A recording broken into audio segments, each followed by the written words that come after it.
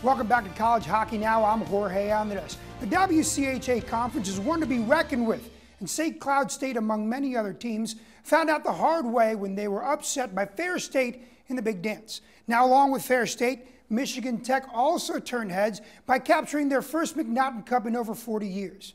And as our Professor Jonesy tells us, the Huskies continue to remind us that defense wins championships.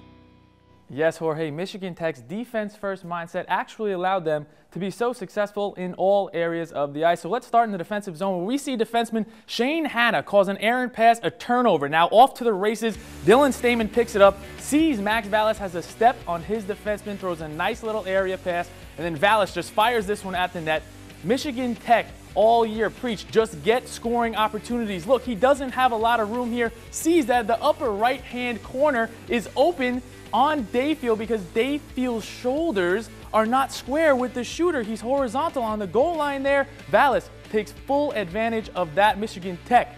Very, very confident this year. Now over to Ferris State, the team that won the conference tournament. Great puck moving team. We're going to see Tierney right here in the center draw two guys to him. The defenseman is forced to go get Gerald Mayhew. Everybody forgets about eventual goal scorer Corey Mackin, and he fires that one home. We're going to see it again. Look at the skill one-handed dangle by Mayhew, the league's leading scorer.